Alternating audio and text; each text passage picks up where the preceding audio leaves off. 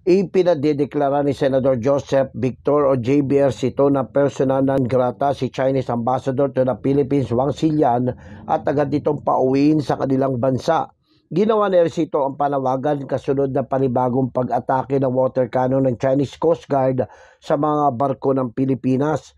Binigyan din ng senador na ang mga anyay combative statement ng Chinese ambassador ay hindi nakakatulong sa sitwasyon dahil ang kailangan ngayon ay isang diplomatic figure na kayang pakalmahin ng lahat.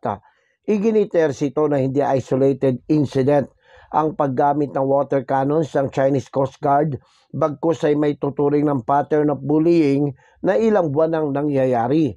Ang mapanganib-an niyang paggamit ng China ng pinaniniwalaang long-range acoustic device ay kailanman ay hindi magiging katanggap-tanggap dahil buhay ng mga Pilipino ang nakataya rito.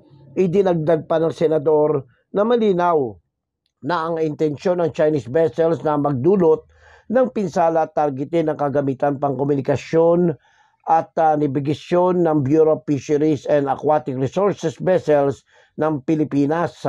Samantala, ang paglalagay anya ng inflatable boats ng persa ng China sa ating karagatan para palayasin ang mga bangkang pandagat ng mga Pilipinong mangisda na naghihintay lamang ng supply ng pagkain ay may tuturing na walang puso at hindi makataong paraan.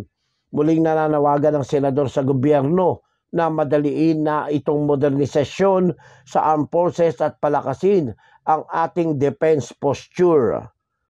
Ako, si Jojo Sikat, walang inaatasang balita.